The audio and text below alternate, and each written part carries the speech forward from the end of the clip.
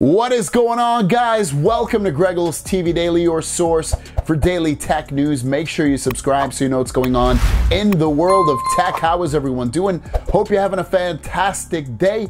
We've got two news stories for you, so let's dive right in. The first one has to do with the Pixel 7 Pro. Now, I've had this for less than 24 hours.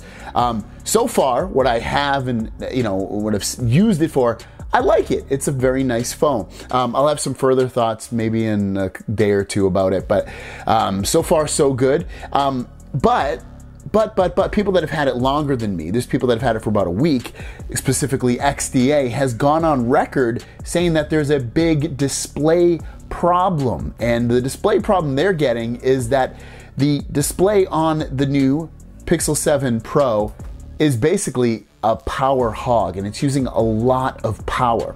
Now, they're saying that it's using about 50% more battery when it's at its, you know, 1000 nits or brighter brightness versus a Galaxy S22 Ultra. So when you go outdoors, especially when if you have adaptive brightness, um, you know, it's gonna make the screen brighter and it's gonna draw a lot more power from the battery.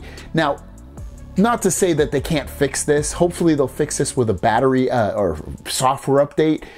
But right now, it does seem like a bit of an issue right now. At 1000 nits, it's drawn 6 watts versus 4 watts on the S22 uh, Ultra. So it's kind of a, you know, kind of a battery hog right now. But again, that's I, I feel like it's not it's not something they can't fix with a, a, software update. So we'll wait and see. We won't put too many eggs in that basket of being disappointed. But it is something to know that you know if you are drawing a lot of power and your screen's at its ultimate brightness, you might be that might be obviously the culprit of why it's draining so much battery. And our last story of the day has to do with one of my favorite apps if you have a Samsung Galaxy phone. It's GoodLock. Well, the developers conference was at least yesterday. They had a little Samsung developers conference, and one of the things Samsung announced was this. They said that they're going to be coming soon. There's going to be a new GoodLock uh, feature for cameras, and you can see Ice Universe tweeted that out. I'm interested in this new function of GoodLock. It's related to cameras. What will it be?